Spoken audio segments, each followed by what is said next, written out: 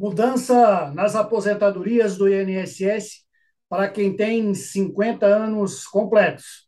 Quando eu digo 50 anos completos, é 50, 51, 55, enfim, está aí na casa dos 50 anos. Olá, meu amigo, minha amiga, sejam muito bem-vindos para mais um vídeo aqui do canal. Hoje eu quero trazer esse conteúdo super importante para você, onde eu quero bater um papo, conversar contigo sobre alguns conceitos importantes que vai te ajudar muito. Então, se caso você está vendo esse vídeo pela primeira vez, está nesse canal pela primeira vez e ainda não é inscrito, ou já vê alguns vídeos meus por aqui, mas ainda não se inscreveu no canal, aproveita a oportunidade, já se inscreve no canal para continuar acompanhando meu trabalho, porque toda semana a gente posta conteúdo novo por aqui, sempre atualizado e fundamentado, ok? Temos aí também uma assessora jurídica nossa que está aqui nos ajudando nos conteúdos gratuitos. E também, se você precisar de um atendimento especializado, uma especialista em previdência, com experiência na Justiça Federal, entre em contato conosco. Os contatos vai estar aqui na tela e também na descrição deste vídeo. Hoje, então, eu separei alguns tópicos importantes aqui para você, para dizer para você em relação a essas mudanças na aposentadoria essa nova aposentadoria do INSS para quem tem 50 anos completos ou um pouco mais. Bom, primeira questão é respondendo aí algumas perguntas aqui do canal, e uma delas é: aposentadoria por tempo de contribuição ainda existe? Sim ou não? Quem ainda consegue se aposentar por tempo de contribuição? Como é que funciona tudo isso? Também vou explicar para você. A terceira pergunta é: os cuidados, na verdade, não é uma pergunta, é uma sugestão. Quais os cuidados que você deve ter na hora de pedir a sua aposentadoria? E, por fim, como saber o melhor momento para se aposentar? Fique comigo, então, que esse vídeo vai estar muito top. Quero te dar alguns exemplos práticos aí da vida, do cotidiano do trabalhador que precisa se aposentar. Vai te ajudar muito. Depois da vinheta.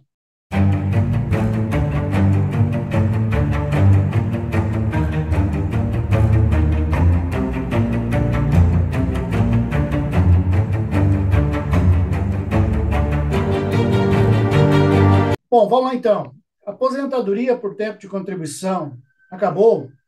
Essa é uma das perguntas aí que colocaram num dos vídeos meus, dizendo, afirmando até que já tinha acabado. Na verdade, aposentadoria por tempo de contribuição, ela acabou para quem tem aí menos de 40 anos, 45. Na verdade, vai ter que completar idade mais tempo de contribuição para poder se aposentar. Mas existem várias e várias regras aí, algumas regras de transição da aposentadoria por tempo de contribuição do INSS. E esse pessoal aí, 50 a mais, se você é uma dessas pessoas está me assistindo ou conhece alguém, também compartilhe esse conteúdo com ele. Existem várias possibilidades de se aposentar e pode sim se aposentar com 50, com 52, com 53, atendendo aos requisitos mínimos aí de, de uma das regras de transição. Tem regra de transição, pedágio de 50%, temos vídeo gravado aqui no, no canal exclusivamente sobre o pedágio de 50%, você não viu ainda, olhe aqui no, nesse canal, pesquisa aí que você vai encontrar um vídeo exclusivo sobre isso. Pedágio de 100%, aposentadoria por pontos, aposentadoria especial e as, os direitos adquiridos aí, quem ainda não tinha se aposentado antes da reforma, mas que já tinha preenchido os requisitos, de repente por um lapso aí, ter esquecido ou ter deixado para mais tempo mesmo, então pode sim se aposentar. A segunda questão é: quem ainda consegue se aposentar por tempo de contribuição? Então, é isso que eu disse. Todas aquelas pessoas que têm o direito adquirido, ou estavam, ou estavam aí próxima de completar um tempo de contribuição, faltando dois anos, três anos, quatro anos, e ainda consegue se aposentar. Então, essa é a questão. Ainda consegue se aposentar. Mas aí já vem logo a terceira questão. E a minha terceira pergunta é: na verdade, uma importante orientação para você. Alguns cuidados que você deve tomar na hora de se aposentar são muito importantes que você fique alerta para esses cuidados, para você não correr risco de pegar uma aposentadoria com um valor pequeno e viver com aquilo para o resto da vida, sem condição de sobreviver, porque o valor é baixo e ele vai perdendo o poder de compra a cada mês, a cada ano que passa.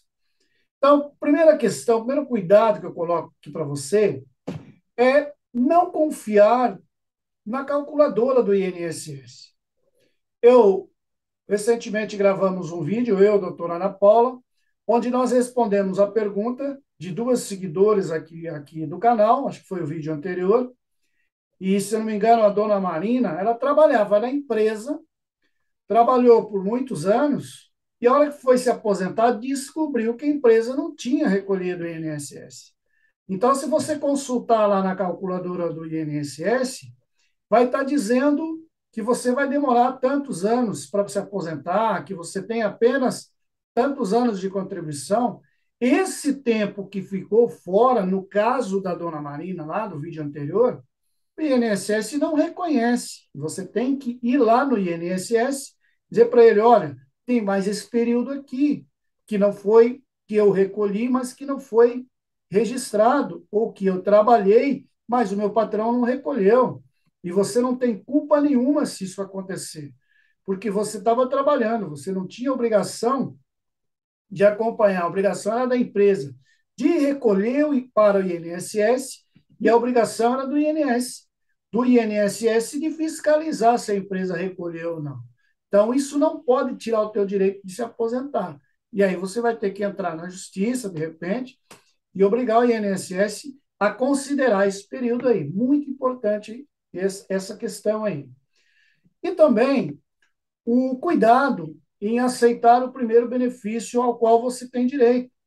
Então, como a gente diz, é possível se aposentar aos 50? Sim, é possível. Mas ser possível e valer a pena são duas questões totalmente diferentes. Às vezes você consegue hoje uma aposentadoria Vou dar um exemplo, com dois mil reais, e daqui um ano, se você esperar, dois anos, você consegue um benefício 30%, às vezes até 50% melhor, só pelo fato de você esperar um ano. Então, precisa tomar muito cuidado para não tomar decisão precipitada. Outra questão é o inverso disso. Às vezes, você tem condição de se aposentar hoje, já preenche todos os requisitos, e, e, e imagina e acredita que se você demorar mais tempo para se aposentar, recolhendo o que você está recolhendo, você vai ter uma aposentadoria melhor. E você não pesquisa, você não se informa, e às vezes você está perdendo tempo. Você está pagando desnecessariamente uma contribuição e perdendo dinheiro, perdendo de receber do INSS. Também existem situações desse tipo. Nós se deparamos aí nas nossas pesquisas, nos nossos estudos aqui para trazer conteúdo de qualidade para você, a gente sempre encontra questões dessa natureza. Essa geração, você que está me assistindo, pessoal aí que tem 50, 50 a mais, precisa tomar muito cuidado para não tomar decisões precipitadas. Tem que ter calma na hora de ir lá e pedir a sua aposentadoria para realmente ver qual é a melhor aposentadoria para você. Esse pessoal aí são homens, mulheres que estão estavam ali com, com mulher 28 anos, homem 33 anos, antes de vir a reforma da Previdência. Nós estamos aqui chegando aí, final já de 2022, no último trimestre do, do, de 2022, já está próximo aí, e o pessoal lá que faltava dois anos vai completar quatro. Daqui a pouco vai completar quatro anos. Já pagou o pedágio de dois, quer dizer, já completou os dois e já vai pagar o pedágio de dois. Né? Ou seja, vai preencher os requisitos para se aposentar agora em 2023. Volto a reforçar: vai ter requisito. Precisa ter, entender se vale a pena ou não. Então, é importante entender isso para não ir pegar o primeiro benefício, já bater o martelo e de deixar de, de ganhar muito mais, de repente, ter a oportunidade de ter um benefício muito melhor. Tomar cuidado com benefício que já pode ser requerido, como aposentadoria por idade, tempo reduzido, PCD rural, direito adquirido, regra de transição de pedágio 50%, especial 86 pontos. Tem, tem muita gente aí atingindo esses requisitos. Analise bem se é o momento correto para você se aposentar, se você pode esperar mais um pouco, se vale a pena esperar mais um pouco. Então, avalie todo esse cenário, ok? E, por fim, então, como você saber o melhor momento de se aposentar? Tudo isso que eu disse, hoje ele tem realmente, nos últimos tempos que a gente está vivendo, tem se intensificado mais essa questão das pessoas pedirem e correrem atrás de se aposentar o mais breve possível. São muitas dúvidas e insegurança, principalmente por causa da reforma da Previdência, que deixou um trauma em todo mundo aí. A crise econômica que o país está enfrentando, a crise de saúde que nós tivemos nos últimos anos, tenebroso, difícil que atravessamos, são fatores que influenciam as pessoas a tomarem decisões precipitadas e já pegar o primeiro benefício que tem. Então, eu reforço nesse cuidado, porque ele é muito importante. Você precisa tomar cuidado com isso. Não é raro, não é raro, segundo especialistas, e a gente tem pesquisado bastante sobre isso, às vezes por um dia, por um mês, até por um ano, a pessoa deixar de ganhar de 30% a 50% a mais no seu benefício. Volto a reforçar esse ponto. Precisa tomar muito cuidado. Por isso, então, como saber o melhor momento da sua aposentadoria? É importante, principalmente agora no pós-reforma, que você faça um bom planejamento previdenciário. Você que está aí na casa dos 50, 50 a mais. Tome muito cuidado. Faça um planejamento previdenciário, porque só ele vai dizer para você com clareza qual é o melhor momento que você vai se aposentar. Porque é, é, são muitos fatores que envolvem a tua trajetória profissional. O que pode ser excelente para uma pessoa se aposentar agora e pegar um benefício com valor reduzido, para outra pode ser ruim, porque essa, às vezes, está cansada, não, não tem condição de aumentar o seu benefício. E essa daqui, às vezes, consegue trabalhar um pouco mais, tem condição de aumentar a contribuição. O sistema que o pessoal usa para fazer os planejamentos previdenciários, o INSS não faz, e o INSS não está preocupado com isso. Mesmo que ele saiba que daqui a pouco você vai ter direito a um benefício melhor, jamais ele vai te dizer isso. Ele vai te aposentar se você preencher os requisitos, chegar lá com a carteira e pedir aposentadoria. Reforço, é possível se aposentar? É, mas nem sempre vale a pena, ok? Nem sempre preciso estudar muito. O planejamento previdenciário ele é focado em conceder e mostrar para você o melhor benefício dentro do seu histórico profissional e da sua expectativa de vida. É feito questão de análise de investimento, quanto você tem que investir, ou se você precisa investir, ou se não precisa investir, quanto tempo você precisa trabalhar em que ano você vai preencher os requisitos. Enfim, é um diagnóstico completo de quando, como e aproximadamente com quanto você vai aposentar. Então, ele te dá vários cenários. Se por acaso você optar, por exemplo, para se aposentar mais cedo, com um benefício um pouco melhor, aí você vai tomar uma decisão consciente. Mas o planejamento previdenciário, ele vai mostrar isso para você. Então, por isso eu quis trazer, gente, esse conteúdo aqui para vocês.